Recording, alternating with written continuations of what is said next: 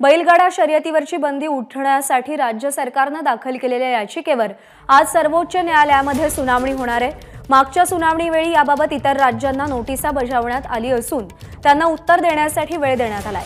दोन हजार सतरा साली मुंबई हायकोर्टानं बैलगाडा शर्यतींवर बंदी घातली. त्यानंतर ही बंदी उठवण्यासाठी विधानसभेपासून लोकसभेपर्यंत मागणी झाली. घोडा बैलांवरचे अत्याचार थांबावेत म्हणून एकाच गाडीला घोडा बैल झुंबण्यास बंदी होती. शर्यतीला बैलांना चापकानं मोठ्या काठीनं अमानुष मारणं बॅटरीचा शॉक देणं टोकदार खिळे लावणं असे अनेक प्रकार असे अनेक प्रकारे अत्याचार केले जात असल्याचं सांगत प्राणीमित्रांनी शर्यतीवर बंदी घालण्याची मागणी केली होती आणि अजूनही प्राणीमित्र त्यांच्या मागणीवरती ठाम आहेत.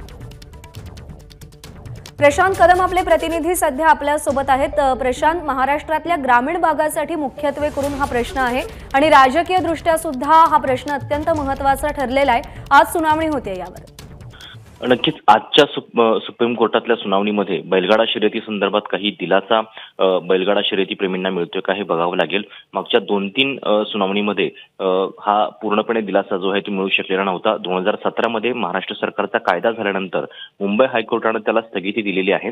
मात्र त्यातला प्रश्न असा आहे की इतर राज्यांमध्ये मात्र कुठल्याही हायकोर्टानं स्थगिती दिलेली नाहीये. म्हणजे कर्नाटकमध्ये शर्यती चालू आहेत तमिळनाडूमध्ये चालू आहेत आंध्र प्रदेशमध्ये चालू आहेत. केवळ महाराष्ट्रामध्येच हायकोर्टानं ही बंदी घातलेली आहे. आणि हाच मुद्दा सुप्रीम कोर्टातल्या सुनावणीमध्ये पुन्हा एकदा उपस्थित होऊ शकतो. त्यामुळे आज नेमकं काय होतं हे पाहावं लागेल. दुसरीकडे प्राणी मित्र जे आहेत ते सुद्धा वेगवेगळ्या पद्धतीनं प्रतिज्ञापत्र सादर करून या बंदी कायम ठेवण्यासाठी सुप्रीम कोर्टामध्ये प्रयत्न करतायत. काल सुद्धा त्यांची एक नवीन प्रतिज्ञापत्राची तयारी जी आहे ती काल दिसत होती. त्यामुळे आजच्या सुनावणीत नेमकं काय होतंय हे बघावं लागेल. प्रशांत तुमच्याकडून अपडेट जाणून घेऊ या संदर्भातले. तुर्तास धन्यवाद माहितीसाठी. एबीपी माझा. उघडा डोळे बघा नीट.